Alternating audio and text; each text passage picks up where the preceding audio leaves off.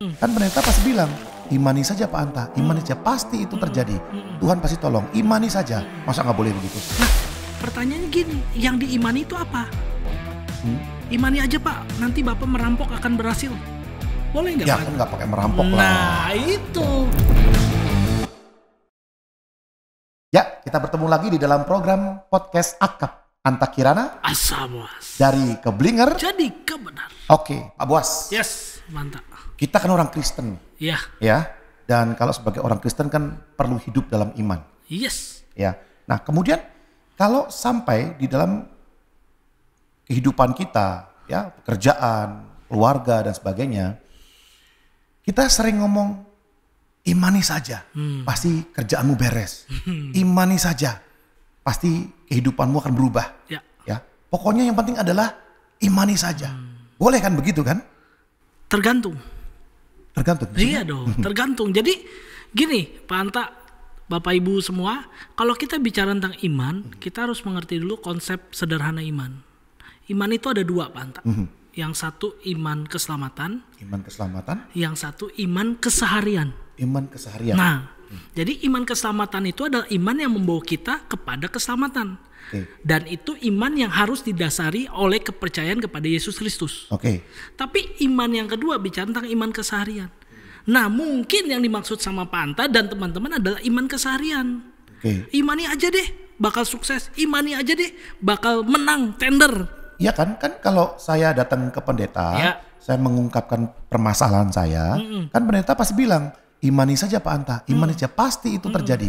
Tuhan pasti tolong, imani saja. Masa nggak boleh begitu? Nah pertanyaannya gini, yang diimani itu apa?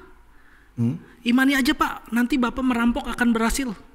Boleh nggak Ya Pak? kan nggak pakai merampok lah. Nah itu. Pokoknya yang penting kan imani saja. Ah, Pasti nanti akan mendapatkan hasil. Kan boleh begitu? Boleh, tapi hasilnya apa? Untuk siapa hasilnya? Hmm. Dan bagaimana proses untuk mendapatkan hasil itu?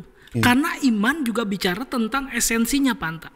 Teman-teman, esensinya apa sih? Esensinya adalah kehendak Allah. Kehendak Allah. Jadi kalau dia mengimani sesuatu yang bukan kehendak Allah, nggak akan terjadi, Panta. Jadi maksudnya ketika saya nih Ya. seorang Kristen Ya. ngomong, ya udah saya imani saja. Hmm. Itu salahnya jadi di mana? Salahnya di mengerti arti iman. Hmm. Jadi gini deh, saya jelasin sedikit, Panta. Teman-teman, iman itu ada tiga aspek. Aspek yang pertama itu knowledge atau pengetahuan. Makanya iman timbul dari pendengaran akan firman. Kita mengenal firman, tahu kebenaran, berubah. Itu iman. Oke, jadi imannya perlu dari firman. Firman, itu oke. dulu Panta. Yang kedua, aspek feeling. Feeling itu perasaan. Apakah firman yang kita terima itu sudah menguasai hati dan pikiran kita? Rasanya tuh ada nggak keberimanan? Jangan bilang jadi orang Kristen, tapi berdoa pun baca Alkitab pun nggak. Bilang bilang cinta sama istri, tapi kasih hadiah pun nggak. Perhatikan juga enggak. Perhatikan juga enggak. Jadi nggak ada feelingnya. Nah itu nggak bisa. Tapi aspek yang ketiga itu will atau kehendak pantas. Kehendak tuh bicara tentang gini. Bagaimana kita bisa menyelaraskan hidup kita dengan kehendak Tuhan pantas. Yakobus pasal 2 bilang apa? Iman tanpa perbuatan itu mati. Oke. Jadi kalau engkau beriman untuk mengasihi, maka tindakanmu harus mengasihi. Nah, dalam aspek itulah kita harus mencermati permintaan kita ini apa. Sesuaikah dengan firman Tuhan? Sesuaikah dengan kebenaran? Sesuaikah dengan perilaku beriman kita atau tidak?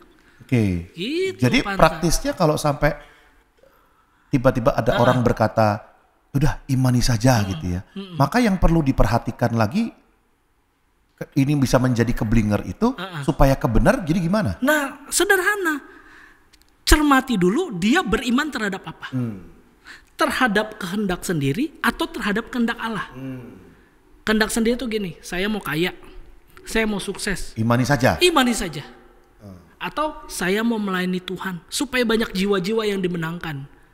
Imani dong, karena engkau akan Tuhan pakai. Itu benar, itu kebenar. Tapi yang keblinger adalah untuk dirinya sendiri, untuk kedagingannya minta iman. Itu yang keblinger, Pan. Berarti maksudnya kata imani saja Ah, itu sebenarnya boleh di, boleh dikatakan dong Yes. kalau itu sesuai dengan firman. Betul. Kalau itu sesuai kehendak Tuhan. persis. Tapi kalau itu untuk keberhasilan kesuksesan saya Iya. hanya untuk kehendak saya, maka itu nggak boleh. nggak usah, ganti aja pakai harapan. Harap harapkan saja. Jangan pakai iman. Karena iman dalam teks Yunani pakai kata pistis. Pistis itu sebenarnya kata benda panta. Iman. Iman itu nggak ada apa-apanya sebenarnya. Ya keberserahan kita, keberharapan kita kepada sesuatu yang lebih di atas kita atau yang lebih berkuasa. Tapi ada kata kerjanya pakai kata pisteon. Pisteo. Pistion itu artinya kita mengharapkan tapi kita bertindak. Jadi kalau kita beriman untuk sesuatu yang baik sesuai rencana Tuhan, pasti kita akan bertindak sesuai rencana Tuhan. Contohnya siapa? Abraham Panta. Ya Abraham. Abraham itu beriman, bukan berharap. Jadi kalau dibilang imani saja, tepat. Karena dia ber- beriman bahwa nanti keturunannya akan banyak.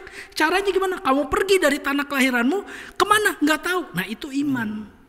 Berarti untuk Pak. jadi gini, Ah, kita konklusikan nih. Yes. Berarti kalau saya mengatakan kepada semua orang nih, maukah dia sedang berdoa ingin sukses, ingin berhasil melewati tantangan, maka saya berkata imani saja, imani saja. Itu bisa berbahaya ya. berbahaya, berbahaya untuk yang mengatakan dan yang menerima perkataan itu. Kita nggak pernah tahu dia sedang berpikir apa. Dia sedang sedang tanda petik beriman terhadap apa. Oke. Itu pak. Jadi kit- saya tidak bisa menganggap bahwa semua orang yang saya temui itu imannya sudah benar. Yes. Dia percaya Tuhan, Ya. lalu kemudian betul-betul dia berharap sama Tuhan, Persis. kemudian firman Tuhan dia baca. Iya. Nah, jangan-jangan saya ketemu orang yang memang sama sekali Alkitab juga nggak baca, Iya. ke gereja juga enggak, membangun kerohanian juga enggak. Iya. Berarti saya nggak bisa berkata imani saja. Nggak bisa. Bagaimana mungkin dia mengimankan sesuatu yang dia nggak punya? Oke. Kita harus punya dulu iman itu untuk bisa beriman. Dari mana? Iman keselamatan. Tapi kalau iman keselamatan aja dia nggak punya, bagaimana dia mungkin beriman dalam kesehariannya, Pantat? Makanya lebih baik pakai kata ya berharaplah. Jangan beriman begitu, Pak. Berarti wah ini jadi bahaya dong kalau sampai kita sekedar ngomong lip sync ya. Imani saja, imani saja. Iya. Padahal nggak tahu imannya dia seperti apa. Iya, betul. Oke. Saya saya suka ngomong sama anak saya. Kamu imani saja bahwa nanti kamu jadi orang pintar. Dia nggak pernah belajar pantak. Saya bilang jangan beriman karena nggak mungkin itu terjadi. Jadi iman itu pasti bekerja sama pantak. Iman keseharian ya. Kalau Oke. iman keselamatan Efesus pasal 289 bilang oleh kasih karunia kamu diselamatkan oleh iman. Tapi kalau iman keseharian itu wajib kita bekerja sama pantak. Oke. Kita kerjakan bagian kita dan Tuhan akan mengerjakan bagian Tuhan. Mhm. Jadi nggak mungkin anak saya pinter kalau dia nggak belajar, cuma pakai iman, nggak bisa. Oke. Gitu Ya. mantap. Berarti ini ketika kita bicara tentang imani saja, Hmm. Itu jangan diumbar-umbar kata-kata itu ya. Ya, jadi murahan nanti kata-katanya. Hmm. Jadi makanya saya jadi inget nih, Ah. Bo, gimana bedanya kalau gini? Kalau di Alkitab kan sebenarnya tidak ada kata imani saja tuh. Yes. Yang ada jadilah sesuai dengan imanmu. Nah, jadilah sesuai dengan imanmu itu lebih tepat. Lebih tepat. Jadi imanmu kepada siapa? Berarti kekuatannya kan di pihak ketiga atau di pihak kedua. Jadilah sesuai dengan imanmu. Jadilah sesuai imanmu. Imanmu kepada siapa? Kepada Yesus, maka Yesus akan menjadikan. Oke. Kalau imanmu kepada kejahatan dan kedagingan, maka tidak akan terjadi. Berarti menurut Pak Buas, Yes. kalau ada orang datang nih ya, Ya. minta doakan, ada masalah, persoalan atau ada harapan, lebih cocok mana sih sebenarnya ngomong imani saja atau jadilah sesuai dengan imanmu? Saya harus konseling dulu, Panta. Ah, Jangan-jangan dia gini, Pak, saya begini-begini karena saya terlilit begini, karena saya melakukan dosa gini. Kan harus diselesai- selesaikan dulu, Panta. Jangan saya bilang, ya udah imani aja kesembuhanmu. Padahal kesakitannya gara-gara dia bikin dosa. Maka nggak clear masalahnya. Saya harus clearkan dulu masalahnya. Tanya, kalau dia bilang, saya mengaku dosa, Pak, saya mau dipulihkan. Jadilah sesuai dengan iman. oke. Gitu. Oh, atau mungkin kadang-kadang ngomong imani saja itu karena udah malas konseling, capek, malas doain. Bisa Ah udah imani saja kan. Imani aja. Dan ini justru menjerumuskan orang ya. Jelas Panta. Oke. Makanya banyak orang Kristen yang imannya kerdil, bonsai, nggak tumbuh-tumbuh. Ya, ya, ya. Oke. Hmm. So, jadi supaya tidak keblinger secara rangkuman nih, apa yang perlu jemaat lakukan? Nah, sederhana begini Bapak Ibu Saudara. Kalau kita punya iman keselamatan, kita maka punya iman namanya iman keseharian.